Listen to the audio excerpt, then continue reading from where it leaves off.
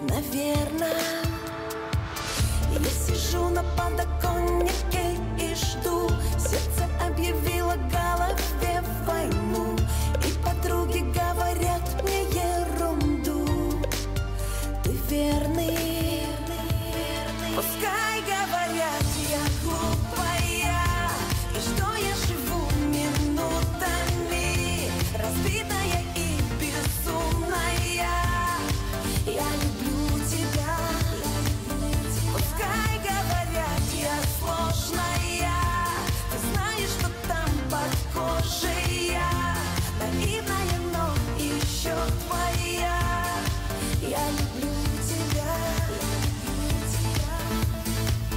Я как будто бы забыла